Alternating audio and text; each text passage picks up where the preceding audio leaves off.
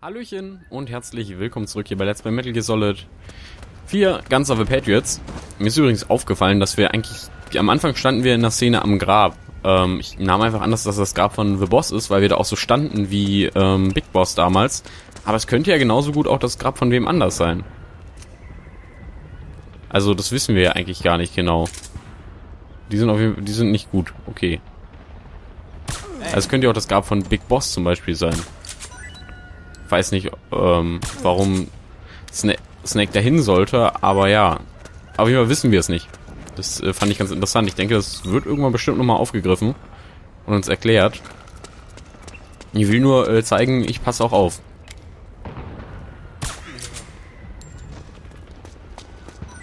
Also es ist nicht so, dass ich hier einfach nur durchrenne, durchs Spiel.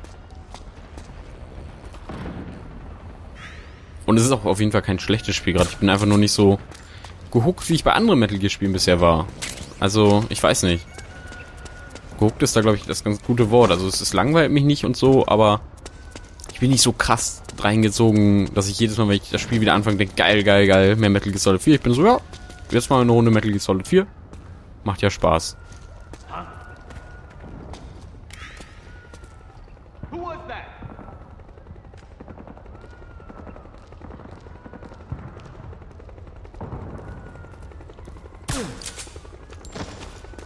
Das war doch noch gut äh, gerettet.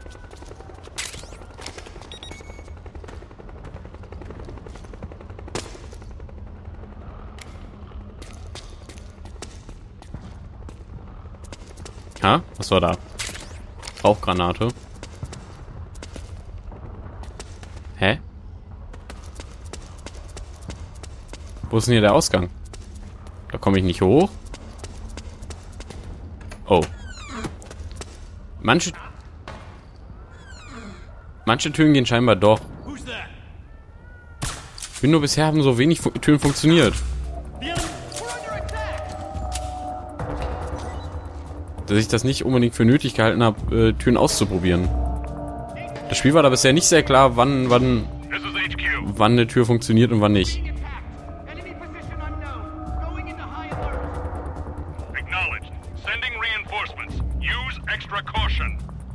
Nein! Sollt ihr nicht, Mann. Ich will doch hier lang schleichen. Und zumachen solltest du es auch nicht.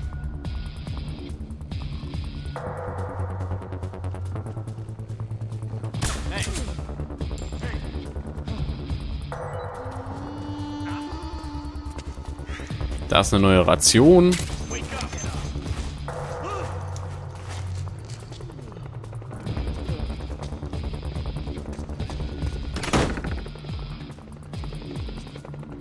Manche Türen gehen halt wirklich auf. Da muss ich dann einfach drauf achten. Oh oh. M4 Custom Schalldämpfer. Ich denke mal, wenn wir genug rumsuchen und so weiter, müssen wir auch den Shop gar nicht wirklich benutzen, weil wir dann alles finden. Zumindest könnte ich mir das sehr gut vorstellen. Das ist dann wahrscheinlich eher für die Spieler, die so durchrennen und viele Leute auch erschießen und so weiter gedacht, damit die auch die Waffen kriegen.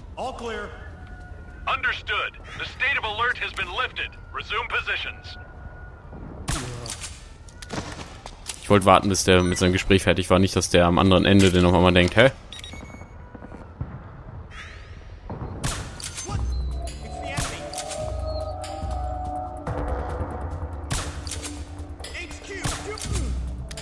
Alter. Der ist aber auch nicht leicht zu, leicht zu treffen. So, hier nochmal einen Vogel abschießen. Nein, ihr sollt das nicht. Mann.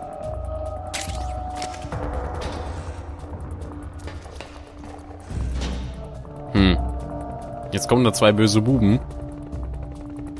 Ich kann die aber auch eigentlich einfach fertig machen, oder?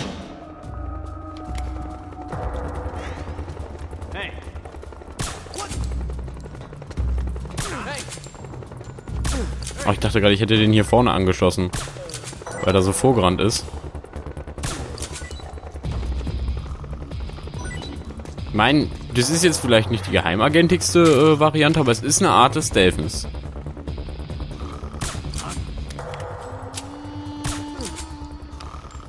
Also, naja, wenn jemand überbleibt, übrig bleibt, dann äh, kann mich auch keiner gesehen haben. Master Key, okay. Und du Vogel, du, du störst mich.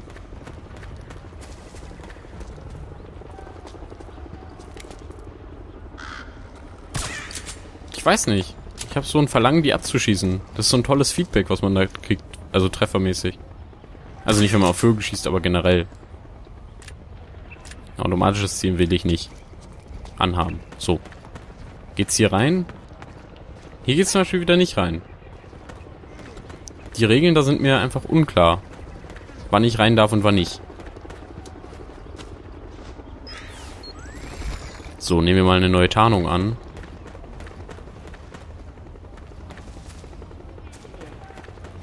Eine Ration, eine weitere. Hier hätte man auch schön durchschleichen können. Ich, ich sehe das schon. Hab ich jetzt halt nicht gemacht.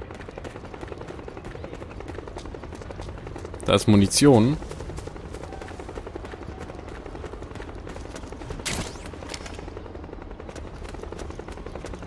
Okay, da oben ist einer, den sehe ich. Ich habe keinen Schalldämpfer auf meiner betäubenden Sniper, glaube ich. Da hätte ich gern noch einen.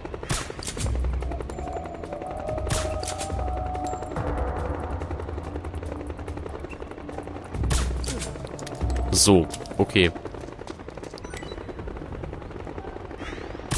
Ich finde es deutlich leichter hier mitzuziehen, als wenn ich in die ähm, Zielperspektive wirklich reingehe. Weil die ist zwar, glaube ich, genauer, aber da bewege ich mich deutlich langsamer mit dem Ziel, also beim Zielen. Also es, das, wie nennt man das? Ist ja dann kein Fahnenkreuz, aber die, die Kimme und Korn halt, die bewegen sich deutlich langsamer als dieses Fadenkreuz hier.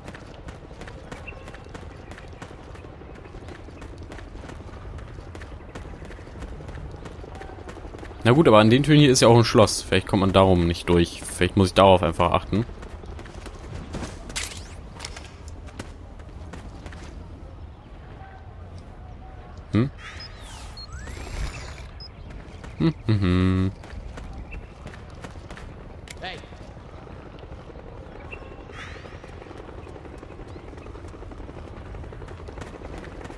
Macht der denn da? Hier ist zum Beispiel kein Schloss dran, aber es geht nicht auf.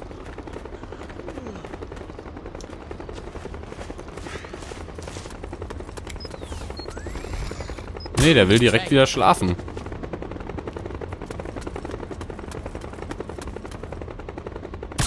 Und du gehst jetzt auch schlafen.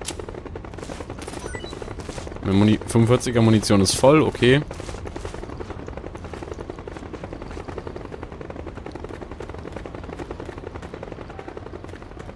Ihr schnarcht hier gemütlich vor euch hin.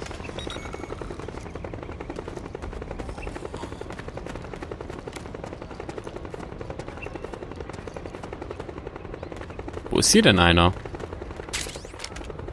Irgendein Schalldämpfer. Auch für den Operator.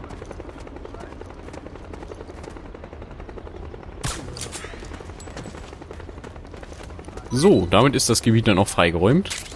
Würde ich sagen. Und wir sind da, wo wir hin sollen. Hey, hey, hey. Wir sind ja gerade auf dem Weg zu Liquid oder dahin, wo Meryl gesagt hat, sie hätte ihn dort gesehen. Nur nur um das nochmal in Erinnerung zu rufen. Ich hatte es gerade auch nicht mehr so ganz genau im Kopf und musste kurz überlegen.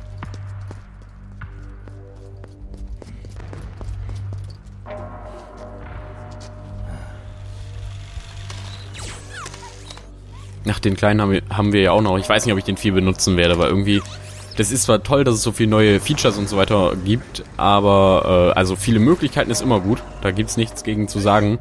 Ich bin damit nur ein bisschen, naja, nicht überfordert, aber ist halt zu viel. Und warum gab es da gerade keine Untertitel? Sie haben gesagt, äh, es gibt irgendwelche, irgendwelche Verbindungsprobleme äh, und ja, das checken sie out. Also das untersuchen sie. Ich weiß nicht, ich, ich könnte ja sein, dass hier irgendjemand nicht das Englisch, Englisch mächtig ist. Ich weiß nicht. Sollte man aber eigentlich. Das ist schon... Englisch, damit, damit kommt man schon ziemlich weit. Das sollte man schon mindestens okay können. Wenn man es nicht kann, sollte man sich vielleicht äh, englische Serien mit deutschen Untertiteln angucken. Dann wird man dann nach und nach vielleicht besser und äh, ja, irgendwann lässt man die deutschen Untertitel weg, wechselt zu englischen Untertiteln Untertiteln und dann ganz irgendwann guckt man es ohne Untertitel. So mache ich das. Oder habe ich das gemacht. Inzwischen gucke ich es einfach ohne Untertitel. Untertitel. Das hilft sehr.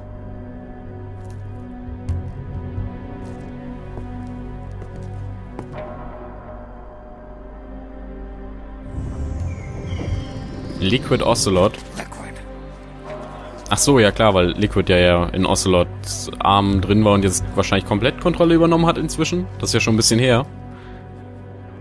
So ein paar Jährchen.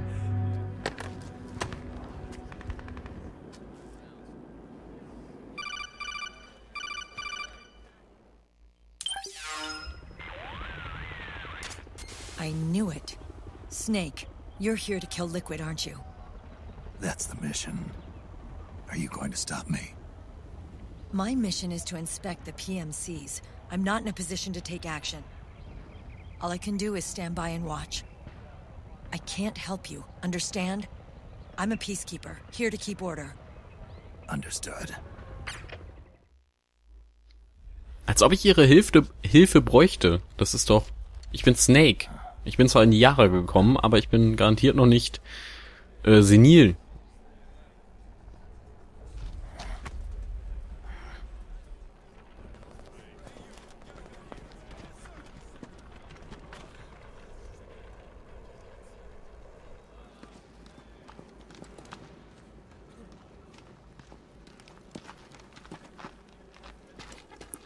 Toll, wie sie eine Patrone als Ohrring hat. Das ist sehr cool. Was aktivieren? Ist das hier eine Falle? Das war auch bestimmt eine Falle. Also wenn der uns hier noch nicht sehen kann, dann weiß ich auch nicht. Ah, jetzt kommen wieder die Dinger, die rum, rumhüpfenden. Am An vom Anfang des Spiels auch nicht die hüpfenden, aber die stampfenden. Die haben ja auch so Kuhgeräusche gemacht, warum auch immer.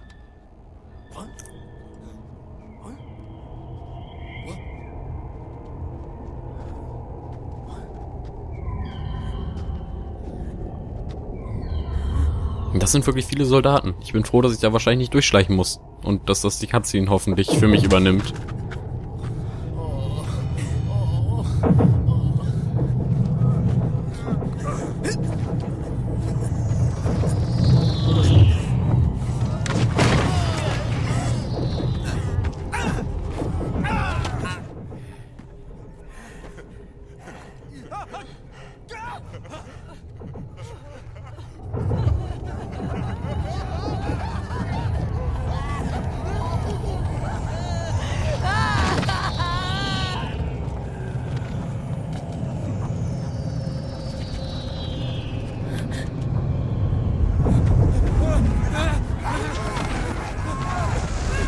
Johnny dagegen immun?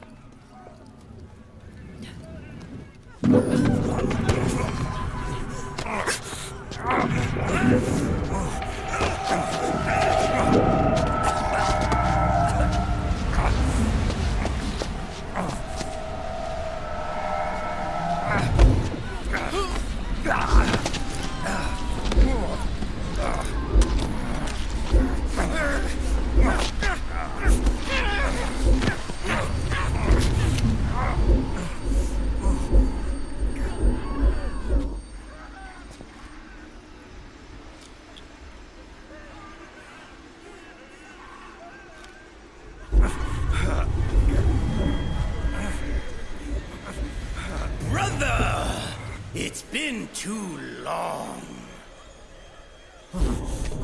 Liquid.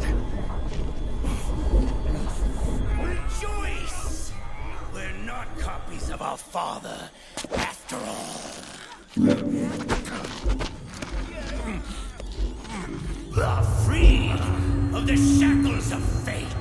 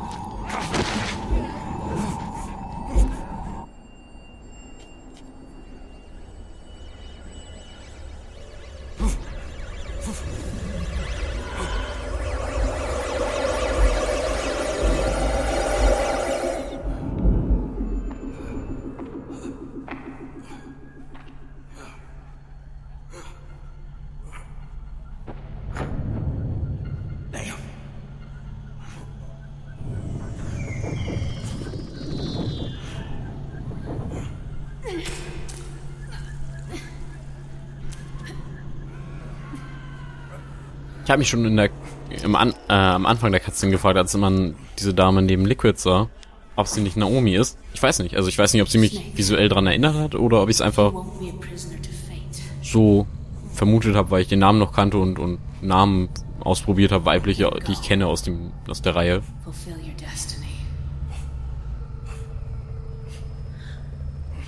Hat mich jetzt auf jeden Fall nicht mehr so überrascht. Irgendwie ging ich davon aus, dass das Naomi ist.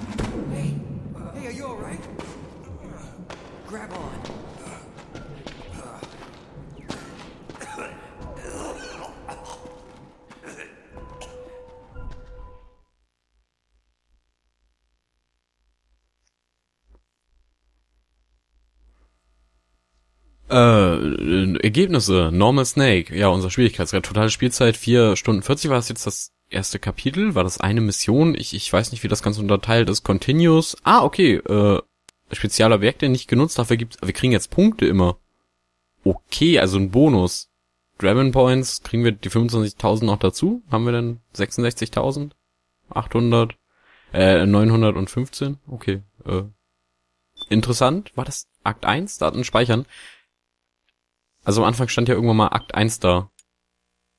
Oder am Anfang auf jeden Fall zu irgendeinem Punkt stand da Akt 1.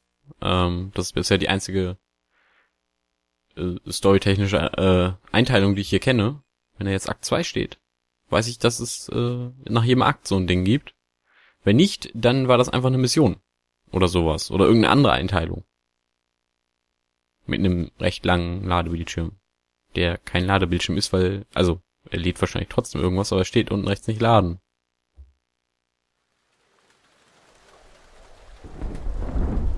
Na, es ist wieder ein Missionsbriefing. Wie nennt man das auf Deutsch? Missions...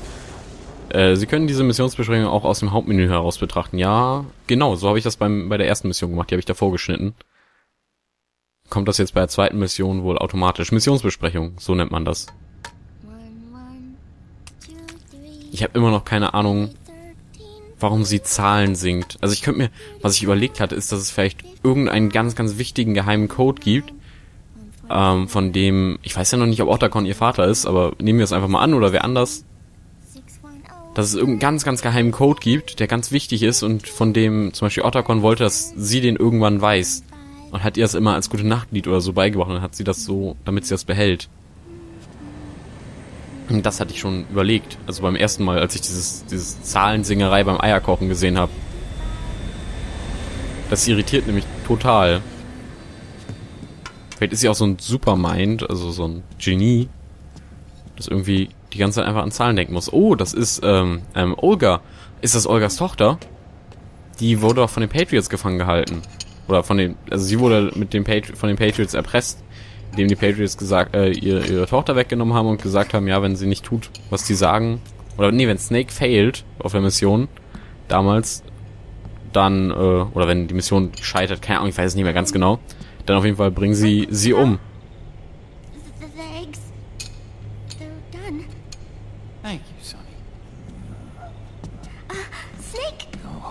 So, back from the dead? Remember the sun being so flat. Sorry. I'll dig in right away, Sonny. And would you make some for Snake, too? Okay. Uh, hey, none for me, Sonny. Oh, shh.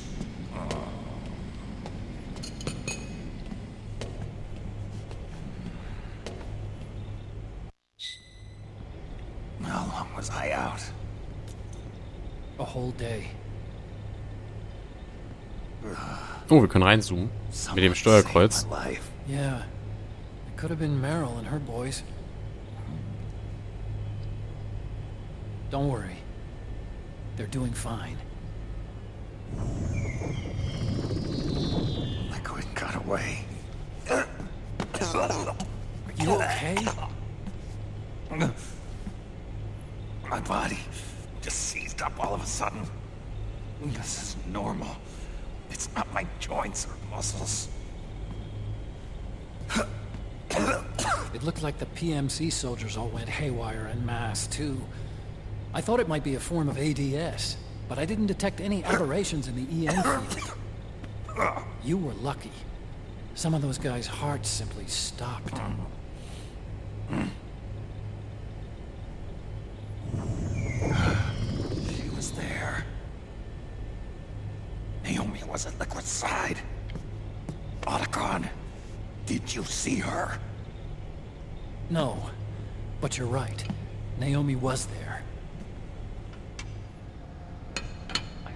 Traces of her DNA in that syringe you were holding.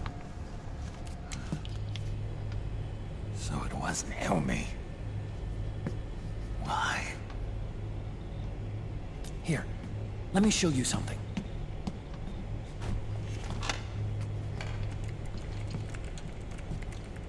Right after it all happened, I got a video mail from Naomi. It was sent to my old address.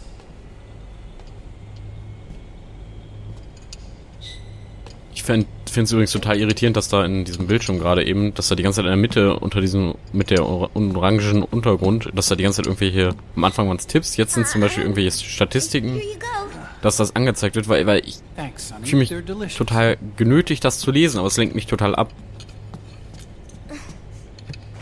But you haven't even eaten any.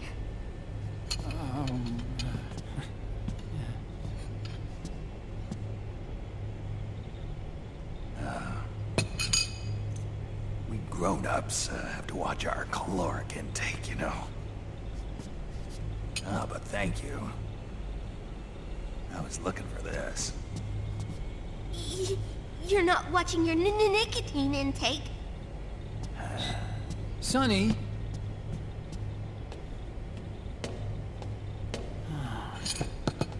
You really hurt her feelings. Yeah. Why don't you teach her how to cook eggs then? Oh, like I know how to cook. Hey, check this out. Police Notes im Hintergrund, ein anderes Spiel been von Kojima. No viruses. The voice print matches Naomi's, and I'm fairly confident the video isn't digitally synthesized either.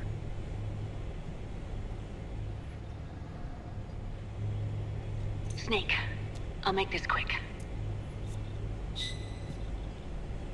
I'm in South America.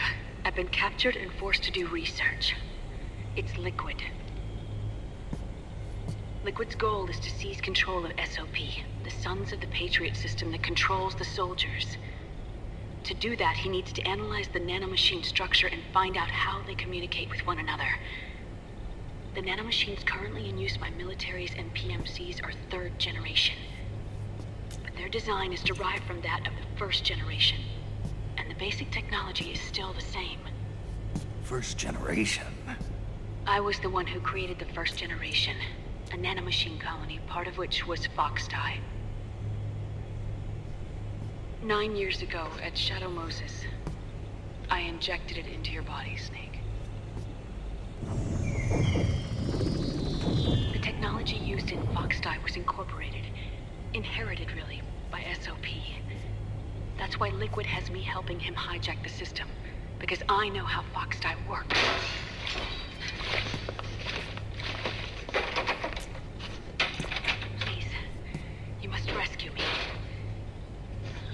Found a loophole he can use to get into the system. Preparations for his insurrection are nearly complete.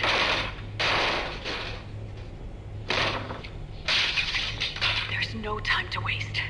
Snake, hurry!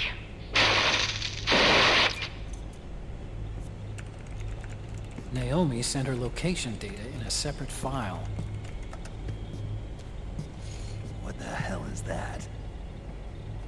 Type of encrypted data. Sonny decoded it for us. Remember now? This is data from the Soliton radar you used at Shadow Moses. I'm guessing Naomi wants us to know the message truly is from her. Sending the map data in Soliton radar format. Pretty clever. And Mei Ling's helping us out from Hawaii.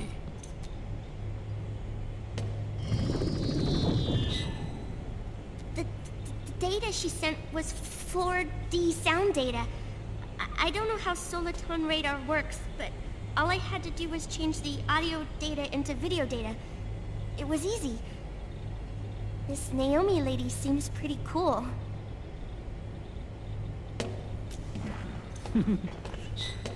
Ich finde den kleinen Metal Gear Rex da auf äh, ähm, Otacons Schreibtisch sehr, sehr cool.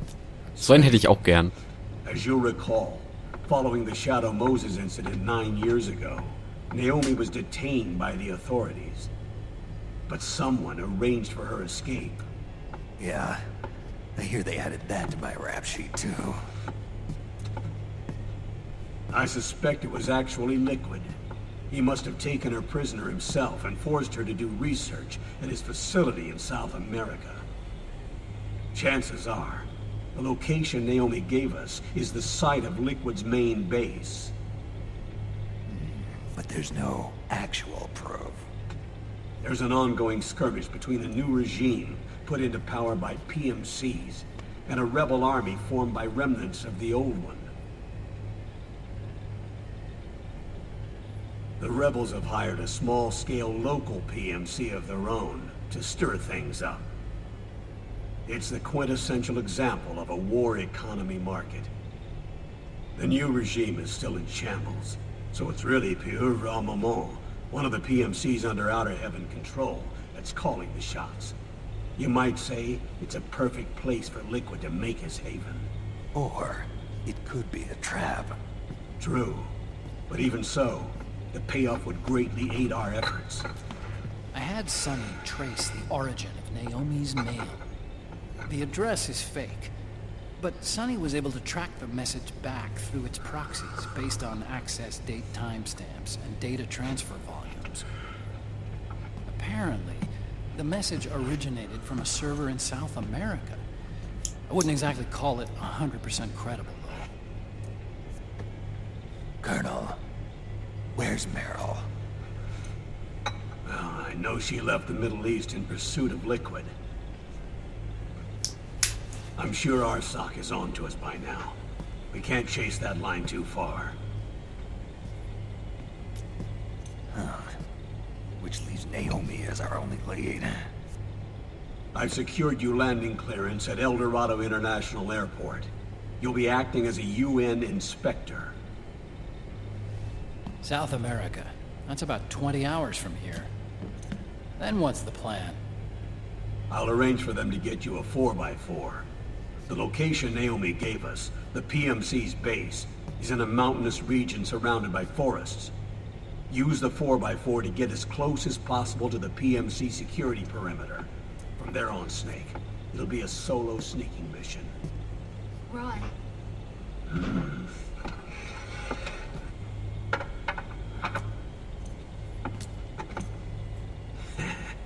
Thanks. The rebels are still pitched in battle against the PMCs. The commotion should help you slip into the facility unnoticed. 20 hours until we land. Got it. I'll have a look at the documents. Maybe I'll even have a smoke while I still can.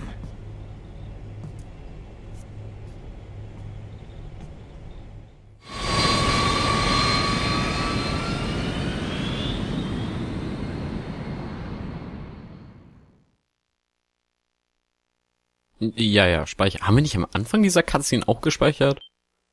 Also zwei Speicherstände nur für eine Cutscene. Das, das wär's ja.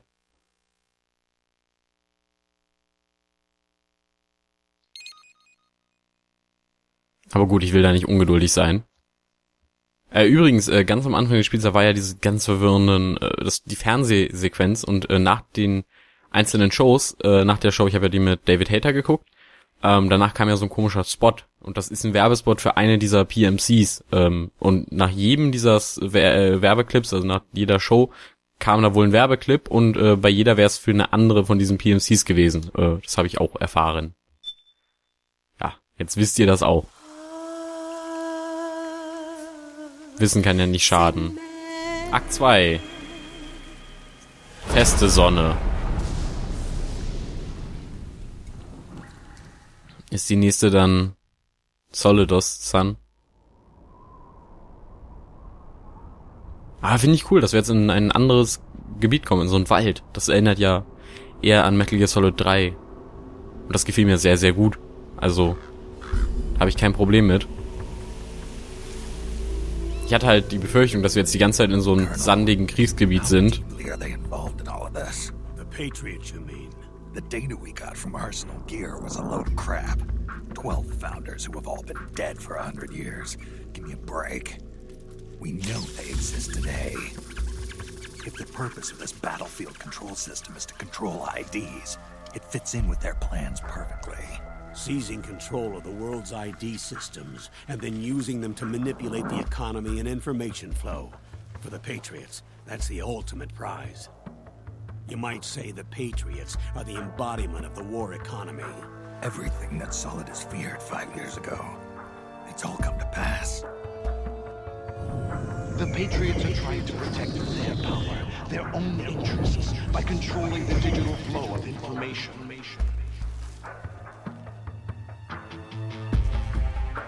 Now, with the media and global opinion under complete control, not even the UN can stand up to them. Then Liquid's insurrection is against them. Exactly. It would seem as though Liquid has taken up Big Boss's cause. An age of persistent universal warfare.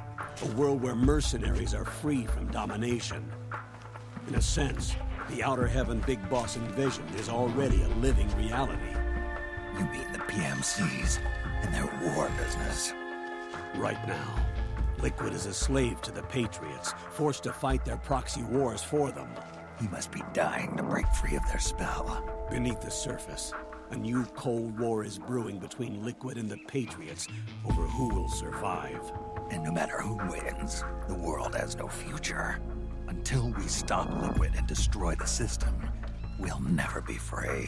Snake, what we call peace is an equilibrium kept in check by the war economy.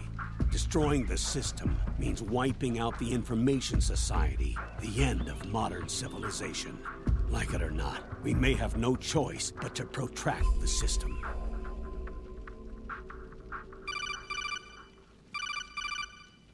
Snake, here's what we know about the current battle. Rebel guerrilla units are advancing on the base of the government PMC troops. That base appears to be Liquid's safe house.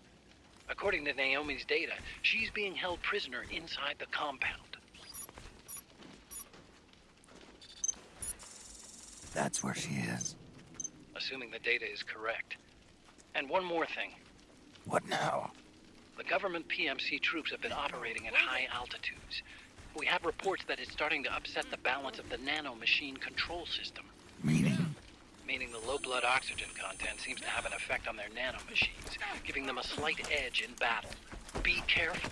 Steer clear of altitude sickness. Got it.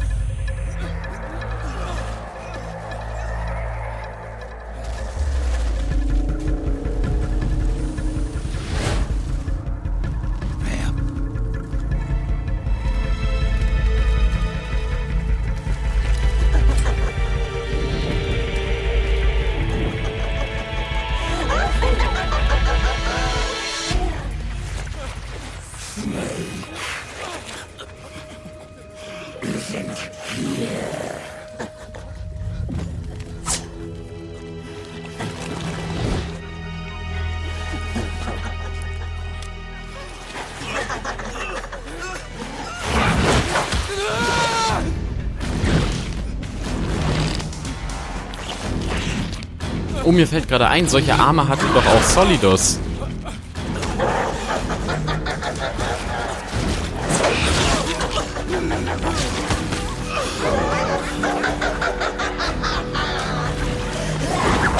Und dass die Person da, die ganz sicher nicht wir sind, ähm, so aussieht wie wir, das erinnert mich an, oh, wie heißt er, ähm, im, im ersten Metal Gear Solid Teil. Octopus, irgendwas mit Octopus hieß der.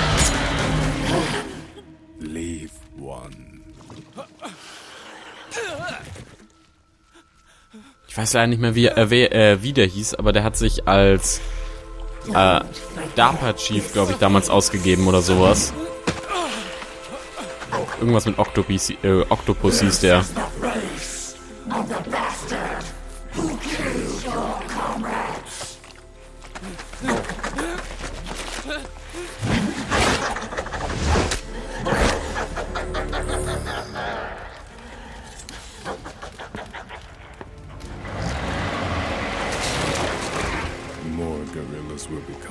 To the safe house. He must be among their numbers. Sooner or later, he will come. Don't let down your guard.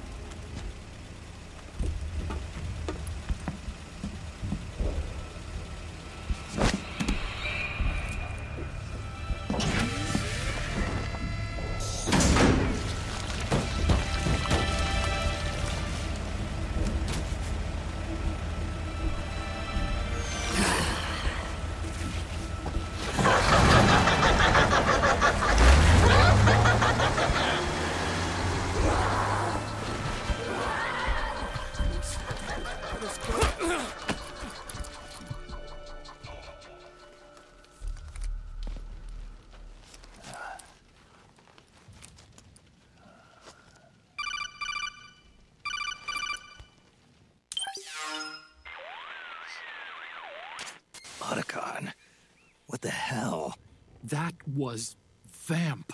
I'm sure of it. I'll never forget that face.